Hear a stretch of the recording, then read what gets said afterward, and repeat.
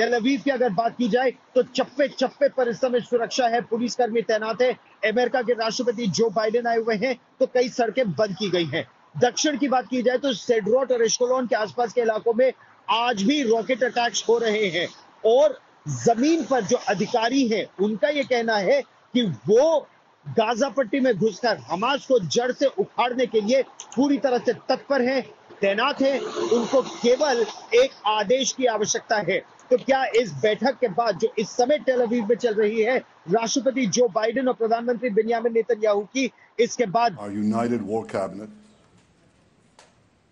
united and resolve to lead Israel to victory this will be a different kind of war because Hamas is a different kind of enemy while Israel seeks to minimise civilian casualties Hamas seeks to maximize civilian casualties.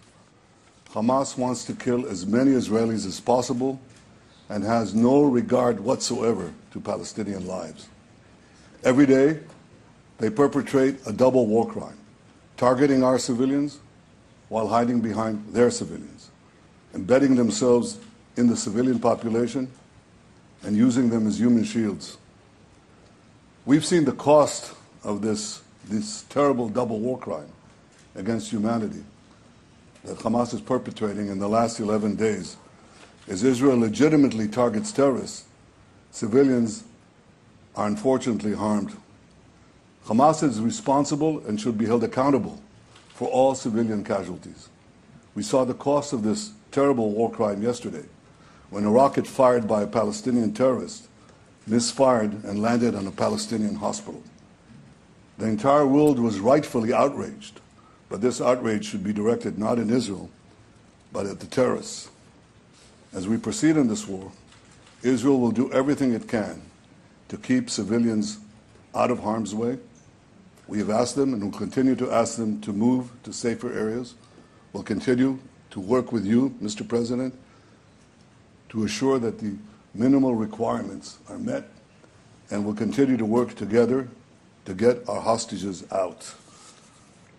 Mr. President, the road to victory will be long and hard, but united in purpose and with a deep sense of justice and the unbreakable spirit of our soldiers and our people, Israel will prevail. Thank you, Mr. President. Well, thank you, uh, Mr. Prime Minister.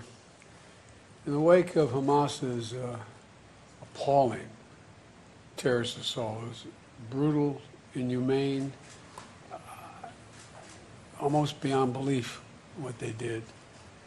This cabinet came together and uh, standing strong, standing united, and, uh, and I want you to know you're not alone.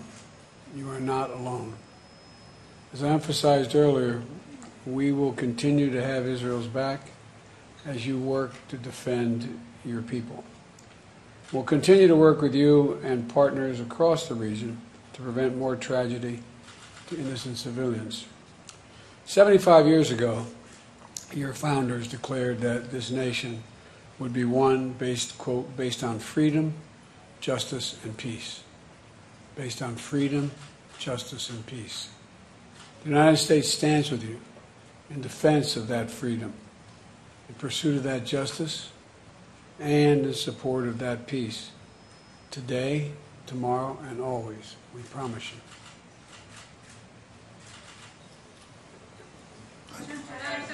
They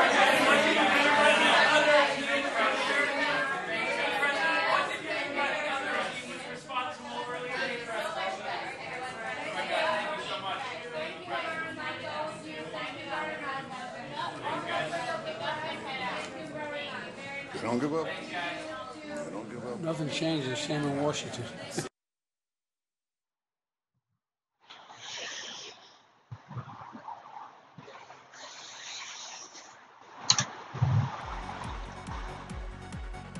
तो America के राष्ट्रपति का बड़ा बयान America Israel के साथ कंधे से कंधा मिलाकर खड़ा है और उससे पहले इसराइल के प्रधानमंत्री बिन्यामिन नेतन्याहू ने हमास की तुलना इस्लामिक स्टेट के कट्टर आतंकवाद से की, कि जिस तरह से, जिस निर्ममता से इस्लामिक स्टेट के आतंकवादी गला रेत कर लोगों की हत्या करते, अंधाधुंध गोलियाँ चलाकर लोगों की हत्या करते, उसी तरह हमास के आतंकवादियों ने दक्षिणी इसराइल में किया। और उसी दक्षिणी इसराइल में मैं मौजूद था, जहाँ इसराइल की सेना पूरी तरह से तैयार है और तत्पर है हमास पर धावा बोलने के लिए, हमला बोलने के लिए।